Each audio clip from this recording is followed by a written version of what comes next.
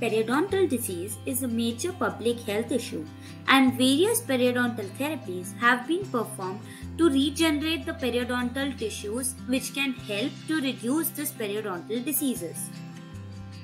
The periodontium is a complex structure composed of specialized tissues that support the teeth, such as the four tissues that we know is the periodontal ligament, the alveolar bone, the cementum, and the gingiva.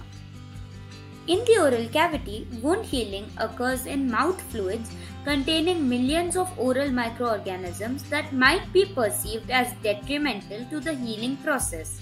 This is how wound healing takes place in the periodontium. Wound healing take, can take place in the periodontium by the adjunctive use of biomaterials or devices that can reinforce the healing process.